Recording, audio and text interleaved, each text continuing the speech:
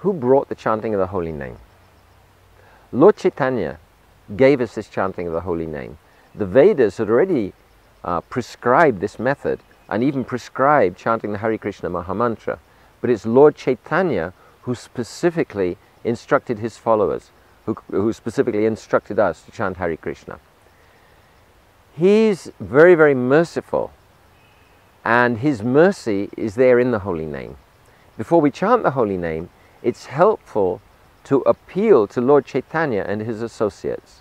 So when Lord Chaitanya came, he came with four other associates. There's Lord Chaitanya, Lord Nityananda, Advaita Acharya, Gadadhar Pandit, and Srivas Thakur, five.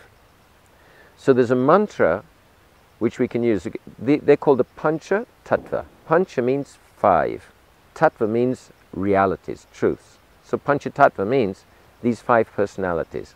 And there's a mantra which we can use to appeal to them to help us to chant the holy name purely. This is the mantra. Sri Krishna Chaitanya, Prabhu Nityananda, Sri Advaita, Gadadhar, Sri Vasadi, Gaur Bhaktavrinda.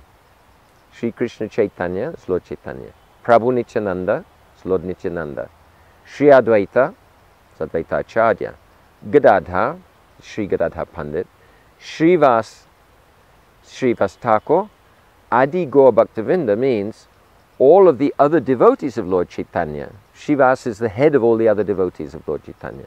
So this is a very, very powerful mantra for helping us to become free from offenses and to get help when we're chanting the Hare Krishna mantra.